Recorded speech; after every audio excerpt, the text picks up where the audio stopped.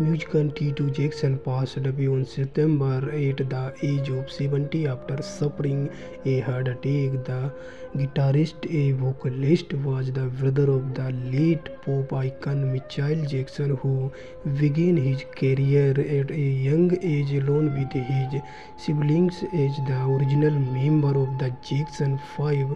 Tito has a six-decade-long music career in remained active until his last days.